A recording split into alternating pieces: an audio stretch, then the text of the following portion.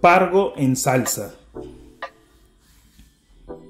Estos son los ingredientes. Pescado, limón, cebolla, pimentón, hierbas, tomate, crema de leche, los aliños y el banano para hacer patacones.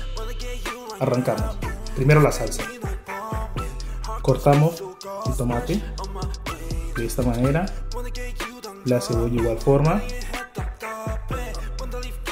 De la misma forma vamos cortando la cebolla. Y seguimos con el pimentón. Abrimos. Sacamos esta parte de adentro, esa avena, y vamos a cortar. Ahora seguimos con las hierbas. De la misma manera, vamos organizando las hierbas para cortar.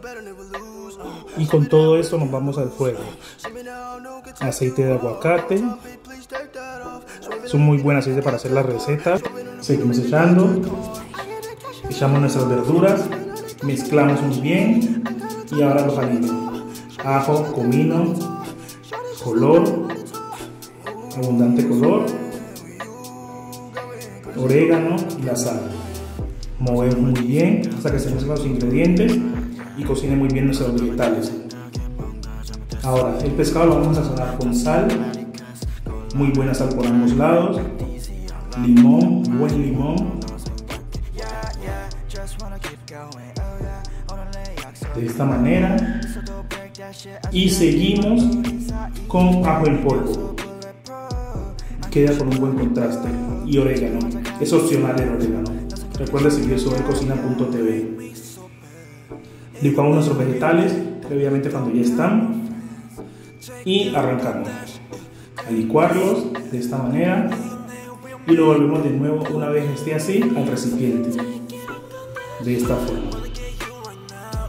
Le echamos crema de leche. Y lo vamos a mezclar muy bien para que comparten los sabores. Si tú quieres le puedes echar leche de coco. Queda mucho más delicioso. Pero igual así queda delicioso. Freímos nuestro pargo. Que nos queda buena fritura, con, un con una crocancia muy buena. Y una vez esté así, vuelve la salsa al sartén y el pescado previamente a ella. Lo dejamos alrededor de unos 5 a 10 minutos a fuego lento. Lo bañamos con abundante salsa de esta manera y vamos a servir nuestra decoración, orégano, ponemos nuestro pescado y le echamos salsa. Muy buena salsa.